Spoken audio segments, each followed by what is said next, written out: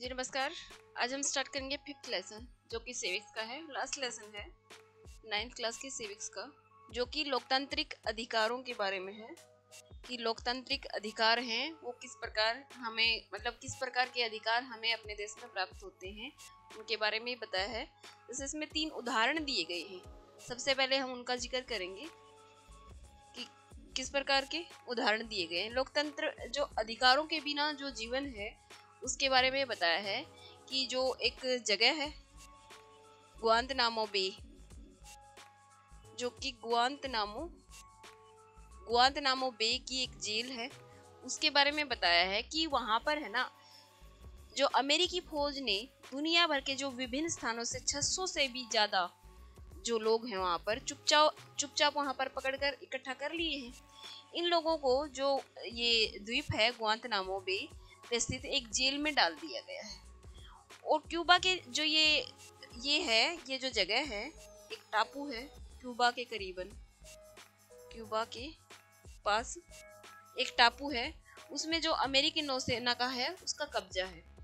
अमेरिकी जो सरकार है, वो कहती है कि ये लोग अमेरिकी जो, अमेरिका के जो दुश्मन हैं, जिन्होंने जैसे न्यूयॉर्क में 11 सितंबर 2001 के हमले में, से जो जो संबंधित हैं अनस के पिता, जो जमील है अलबना उन 600 में से एक है। केवल संदेह के आधार पर पकड़ लिया गया है और जेल में डाल दिया गया है। मतलब लोगों का कोई अधिकार ही नहीं है कि वो बस संदेह के आधार पर उनको पकड़ लिया गया और जेल में डाल दिया गया है। जो अधिकांश मामले में गिरफ़्तार लोगों को के देश की सरकारों को मतलब उनकी गिरफ्तारी की भी खबर नहीं है कि वो आदमी कहाँ गया अनस के पिता जो जमील अल बन्ना है 600 में से एक हैं जिन्हें संदेह के आधार पर पकड़ लिया गया है। अधिकांश मामलों में गिरफ़्तार लोगों को देश की सरकारों को उनकी गिरफ्तारी और जेल में डालने की सूचना तक भी नहीं दी गई है। अन्य कैदियों की तरह जमील के परिवार वालों को भी अखबारों के माध्यम से ये खबर मिलती है कि उसको उन्हें जेल में रखा गया है। उन कैदियों के परिवार वाले, मीडिया के लोगों, यहाँ तक कि संयुक्त राष्ट्र के प्रतिनिधियों को भी उनसे मिलने की इजाज़त नहीं है।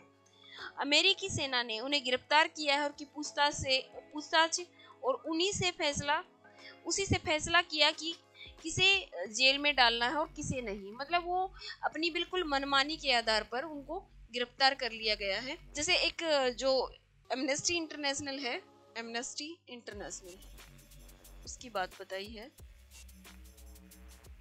कि एक अंतरराष्ट्रीय मानवाधिकार जो संगठन है एमनेस्टी इंटरनेशनल ने ग्वांताबो बे के कैदियों में स्थिति के बारे में सूचनाएँ इकट्ठा करने की कोशिश करी। बताया कि उनके साथ जाति की जाती है। उनके साथ अमेरिकी कानूनों के अनुसार भी व्यवहार नहीं किया जाता।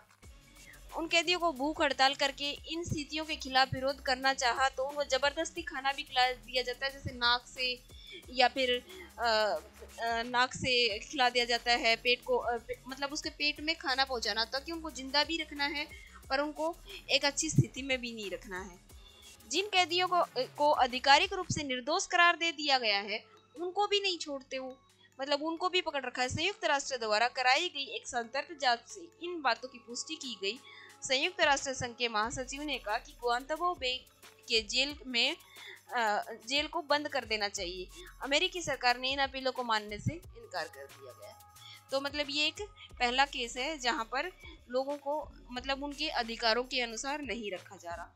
दूसरा है कि जो सऊदी अरब है, उसमें जो नागरिकों के अधिकार हैं, उन पे बात की है कि जो जैसे देखा कि गुआंतबो बे में जो एक अपवाद देखा कि उसमें वहाँ पर क्या हो रहा है।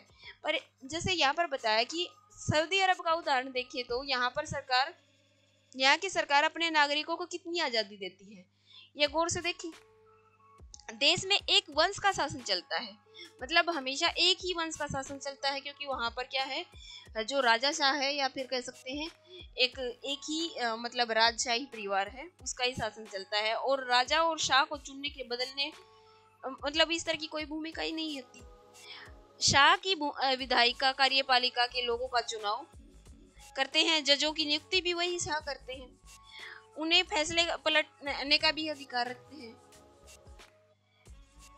लोग कई राजनीतिक दल और संगठन भी नहीं बना सकते। मीडिया शाह की मर्ज़ी के खिलाफ कोई भी खबर नहीं दे सकती। मतलब फिर वहाँ भी अधिकार नहीं है तो यहाँ पर कौन से अधिकार है?